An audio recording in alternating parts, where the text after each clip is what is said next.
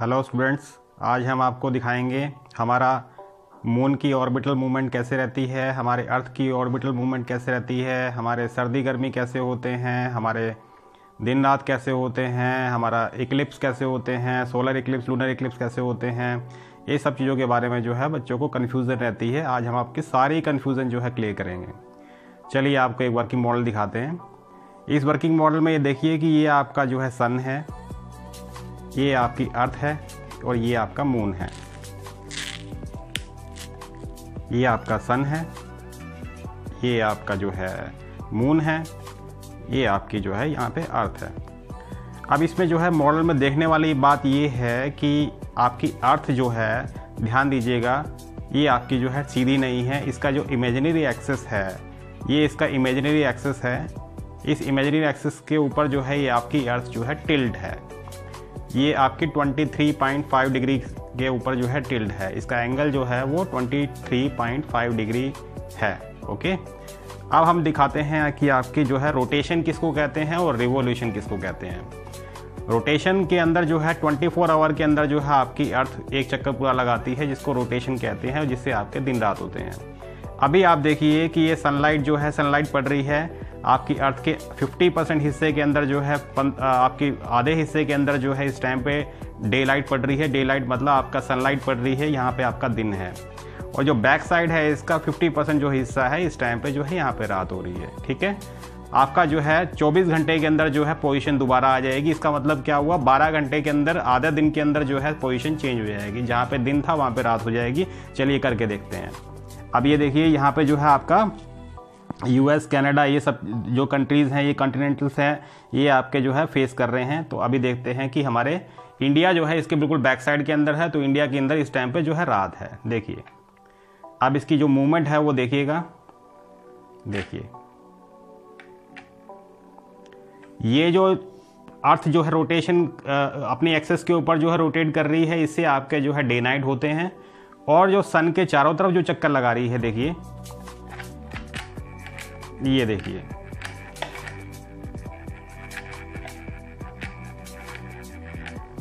तो सन के चारों तरफ़ भी ये चक्कर लगा रही है। सन के चारों तरफ़ चक्कर लगाती है तीन सौ पैंसठ दिन के अंदर। इनफैक्ट तीन सौ पैंसठ और एक चौथाई दिन, यानी कि आपका चार साल के अंदर जो है एक दिन पूरा हो जाता है, जिसको हम जो है फरवरी में लीप ईयर लेते हैं। तो नॉर्मली जो है तीन सौ पैंसठ दिन और छः घंटे। छः घंटे के अंदर जो है ये पूरा चक्कर काटती है सन के चारों तरफ़ और अर्थ जो है अपनी धुरी के ऊपर, अपनी एक्सेस के ऊपर जो है 24 घंटे के अंदर घूमती है, ठीक है? तो डे नाइट जो है देखिए आप डे नाइट क्लियर हो गया आपको? बिल्कुल क्लियर है इसमें मॉडल में? देखिए, जो भी हिस्सा जो है सनलाइट के फ्रंट में आता है, वहाँ पे जो है आपका डे होगा और बैक साइड जहाँ पे सनलाइट नहीं मिल रही है, वो आपका जो है ये वाला हिस्सा जो है आपका यहाँ पे नाइट है और ये वाला हिस्सा जहाँ पे सनलाइट पड़ रही है, ये आपका यहाँ पे दिन है, ठीक है? अब हम देखते हैं कि आपका सोलर इक्लिप्स और लूनर इक्लिप्स कैसे होते हैं।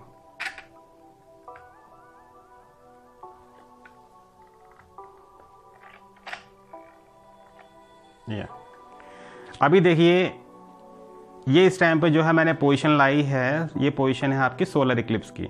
सोलर इक्लिप्स में क्या हुआ कि आपका जो है मून जो है, आपकी अर्थ और आपके सन के बिल्कुल बीच में आ गया है। और यहाँ पे देखिए, जितने हिस्से के अंदर जो है, ये आपका ग्रहण जो दिखता है, जिसको सोल, आप सोलर इक्लिप्स बोलते हैं, यानी कि आपकी जो है, मून की शेडो जो है अर्थ के ऊपर पड़ रही है इतने हिस्से के अंदर। यहाँ पे डार्क हो गया आपका तो इसको बोलते हैं आपका सोलर इक्लिप्स यहाँ पे जो है आपकी सनलाइट जो है इतने हिस्से के अंदर जो है दिन में नहीं पहुँच रही है। इसको बोलते हैं सोलर इक्लिप्स जिसमें जो है इक्वेशन जो है ये बनती है कि मून जो है एग्जैक्ट जो है आपके बिल्कुल दोनों के बीच के अंदर आ जाता है, जिससे जो है सनलाइट को वो रोक लेता है। इसको बोलते हैं आपका सोलर इक्लिप्स करेक्ट आप देखते हैं कि लूनर इक्लिप्स कैसे होता है।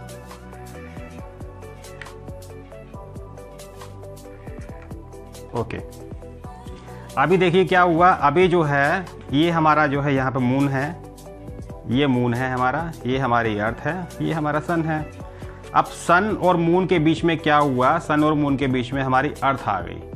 अब जो सनलाइट जो है मून के ऊपर पड़नी चाहिए थी, वो सारी सनलाइट जो है हमारी अर्थ के ऊपर आ रही है और अर्थ ने जो है सनलाइट रोक ली है मून तक जाने के लिए, जिसके, जिसको बोलते हैं आपका लूनर इक्लिप्स यानी आपके चंद्रमा के ऊपर जो है, इस टाइम पे सनलाइट नहीं पहुँच रही है। अर्थ की शेडो जो है वो इस टाइम पे आपके यहाँ पे मून पे पड़ रही है, जिसको आप बोलते हैं लूनर इक्लिप्स चंद्रमा के ऊपर जो है ग्रहण, ठीक है? अब हम देखते हैं कि आपको ये मालूम है कि नॉर्थ पोल पे जो है छः महीने का दिन होता है और छः महीने की रात होती है। सेम आपका जो है साउथ पोल के ऊपर छः महीने का दिन और छः महीने की रात होती है। वो कैसे होता है? चलिए उसके बारे में देखते हैं।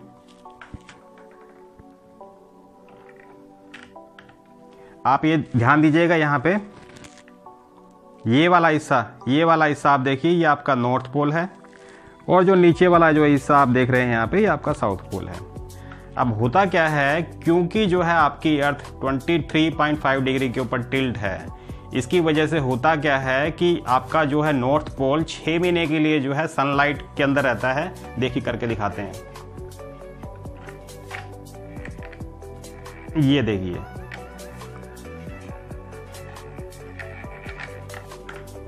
आपको ये वाला हिस्सा जो है इस टाइम पे जो है सनलाइट में दिख रहा है। ये वाला हिस्सा यहाँ पे जो है आपका जो साउथ पोल है, यहाँ पे आपको सनलाइट नहीं मिल रही है। ये कितनी भी बार भी जो है आपकी अर्थ रोटेट कर जाए, इस वाले हिस्से के अंदर जो है आपकी छः महीने तक जो है सनलाइट रहेगी। ये पोजिशन कब चेंज होगी? ये पोजिशन जो है आपकी छः महीने के बाद चेंज होगी। कैसे चेंज होगी? देखते हैं।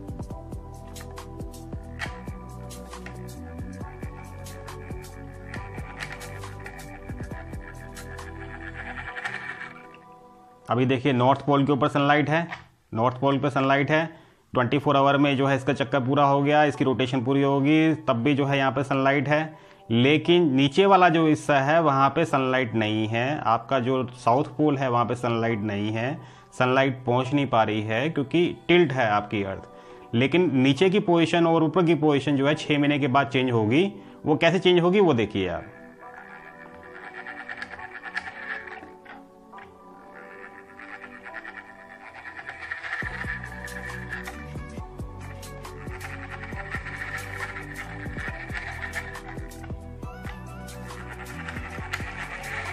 यस आप देखिए अब क्या हुआ? अब आपका जो है, जो नीचे वाला हिस्सा है, ये आपका जो, आपका साउथ पोल है साउथ पोल के ऊपर जो है आपका सनलाइट पहुँच पा रही है, लेकिन आपकी नॉर्थ पोल पे जो है सनलाइट नहीं है। नॉर्थ पोल पे सनलाइट जो है यहाँ पे इस, इतने हिस्से से ख़त्म हो रही है। ये वाला हिस्सा जो है डार्क जोन के अंदर है और ये पूरा जो है छः महीने जब तक चक्का पूरा नहीं होगा छः महीने का राउंड पूरा नहीं होगा अर्थ का रिवोल्यूशन का, तब तक जो है इसकी पोजीशन चेंज नहीं होगी।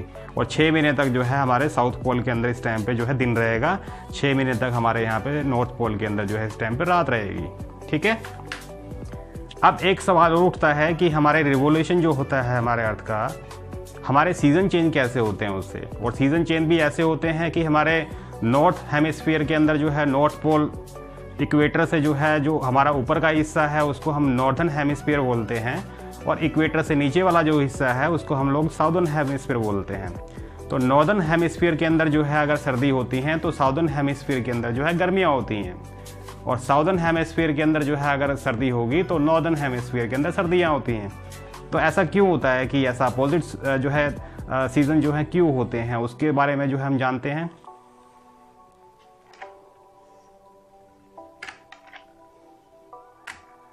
अच्छा आपको ये तो मालूम ही होगा कि हमारी अर्थ जो है एंटी क्लॉकवाइज घूमती है, तभी हमारा सूरज जो है, जो हमारा सूर्य है, वो ईस्ट से जो है निकलता है और वेस्ट में छुपता हुआ दिखाई देता है हमारे को।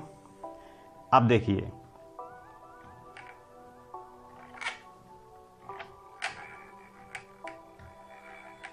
ये देखिए। इस पोजीशन के अंदर क्या होता है? इस पोजीशन में आपकी अर्थ जो है, जो आपका साउथ पोल है, वो टुवर्ड्स जो है सन वो ज़्यादा झुक ज़्यादा झुका हुआ है और जो आपका नॉर्दर्न हेमिसफीयर है, वो आपका जो है दूर है।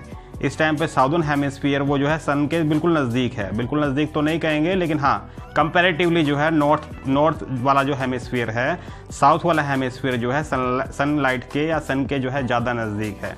तो इससे क्या हुआ? इससे ये हुआ कि इस टाइम पे जो है आपके नॉर्दर्न हेमिसफीयर के अंदर सर्दियाँ आएँगी। आपके विंटर्स आएँगे और साउदर्न हेमस्फीयर के अंदर इस टाइम पे जो है आपकी समर्स आएँगे। और यह पोजीशन जो है चेंज कब होगी? ये पोजीशन चेंज होगी आपकी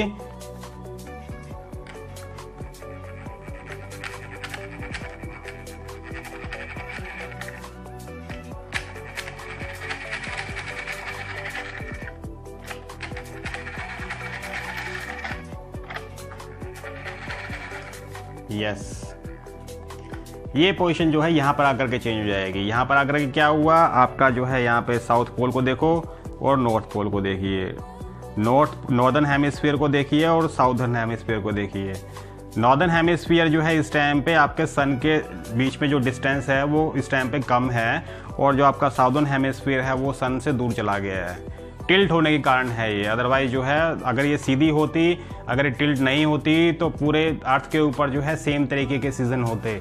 लेकिन ये टिल्ट है इसकी वजह से जो है हमारे नॉर्दर्न हेमिसफियर और साउदर्न हेमिसफियर और नॉर्थ पोल और साउथ पोल के अंदर जो है सीज़न का डे नाइट का जो है फ़र्क पड़ता है अब आपके सामने जो है ये देखिए ये वाला हिस्सा जो है इस टाइम पे जो है सन के नज़दीक है और नीचे वाला हिस्सा जो है सन से थोड़ा सा दूर चला गया है तो क्या हुआ फिर यहाँ पे जो है आपका जो है यहाँ पे समर्स आएँगी और नीचे आपके जो है विंटर्स आएँगी तो छः महीने के बाद जो है सीज़न दोबारा चेंज हो जाएगा ठीक है ठीक है स्टूडेंट्स काफ़ी चीज़ें आपको क्लियर हो गई होंगी आज. Thank you very much bye